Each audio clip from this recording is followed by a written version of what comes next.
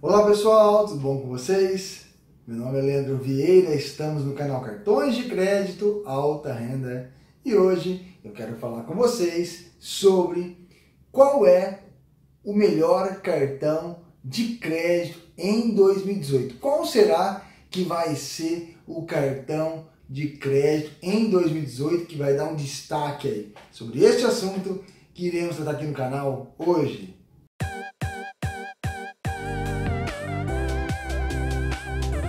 Pessoal, muitos inscritos do canal vêm perguntando, Leandro, qual é o melhor cartão de crédito em 2018? Então vamos tratar desse assunto aqui e ver realmente qual é o melhor cartão em 2018. Lembrando que para ser o melhor cartão para 2018, não basta o cartão não ter anuidade. Né? São vários requisitos que você tem que entender se vale para você ou não a pena ter este cartão. Vamos pegar o exemplo do Nubank, que pode virar banco a qualquer momento. Né? O Nubank ele não cobra anuidade, né? não tem uma política clara de abertura de conta. Ou seja, você faz lá o cadastro com CPF, e-mail e telefone e de repente você é aprovado ou não neste quesito. Né? Muitos são aprovados, são milhares de pessoas aprovadas no Nubank, como milhares de pessoas também negadas pelo Nubank. Né? Então ele não tem uma política clara de abertura de crédito. Score interno score externo e também faz análise de mercado. Então o Nubank ele tem essa, essa política deles aí, né? Que é mais para eles entenderem do que para nós entendermos, né? Bem, é, o Nubank ele busca esse perfil de pessoas que não têm comprovação de renda, né? E aprova ou não essa pessoa. O Digio traz o mesmo mercado no Nubank, o Trig a mesma coisa, né? Os cartões sem anuidade geralmente está nesse mesmo nível aí, como o meu Pag, né? O Nubank e esses demais cartões que eu acabei de falar, eles são bons porque ele não paga anuidade, alguns deles, né? O Nubank, o Digio, o Inter, né? O cartão Saraiva, o cartão Petrobras, o cartão Meu Pag são cartões que não têm anuidade tá? E aí, muitos que são aprovados falam que é o melhor cartão do mundo, porque são cartões que não pagam anuidade, mas não é isso apenas, tá? Você tem que analisar se ele tem um programa de fidelidade gratuito, se quando você usar o cartão você vai ter algum benefício.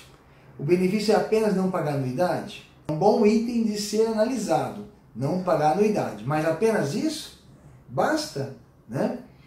É, e já tem as pessoas que vão para o cartão Black. Por exemplo, um cartão Black do Santander, a pessoa que gasta 5 mil reais por mês não paga anuidade e pode transformar as suas compras em pontos no programa Esfera e depois vender seus pontos ou comprar produtos através de pontos. Tá? Vale muito a pena para quem usa bastante esses cartões.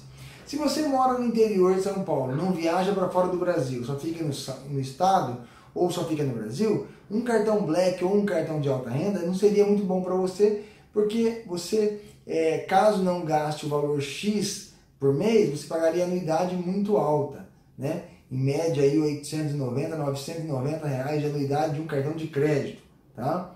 Então você teria que fazer uma análise, uma conta se vale para você ou não a pena. Para mim, os melhores cartões de 2018 são os cartões, continua sendo o Mastercard Black, o Visa Infinite e o The Platinum Card, sendo um dos melhores cartões aí, os três maiores de alta renda. Já os cartões que não pagam anuidade, eu ficaria aí com o Bank, com o Digio, com o meu Pag, com o Banco Inter. Então esses para mim seriam os melhores. E aí depois com anuidade baixa, que também seria uma boa opção para quem não tem cartão de crédito e não consegue ter o cartão sem anuidade. Então teria aí o Trig com cartão cashback, o banco original com cashback, o Citi, alguns ainda com cashback, tá? Esses têm anuidade, mas são anuidade um pouquinho menores, tá? E os cartões premiums aí com Priority Pass, o Visa Infinity da Porto Seguro, tá? E o Limited Visa Infinity do Santander. Então esses para mim seriam os melhores cartões aí para 2018, tá? E aí você tem que fazer uma escolha. Para você qual é o melhor, né?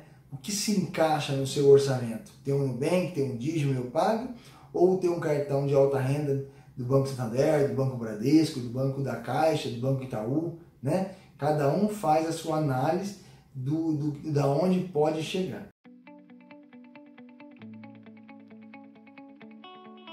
Aos abraços então. Quero mandar um abraço pessoal de Carapicuíba, aqui Cidade Grande, São Paulo, pessoal de Barueri, o pessoal aí também do Mato Grosso do Sul. Um grande abraço para todos vocês, meus amigos, e o pessoal aí de Londrina, no Paraná, que pediu um abraço. Um grande abraço para todos vocês paranaenses que estão ligadinhos aqui no nosso canal. Pessoal, eu espero que vocês tenham gostado desse vídeo. Até o próximo. Fique com Deus.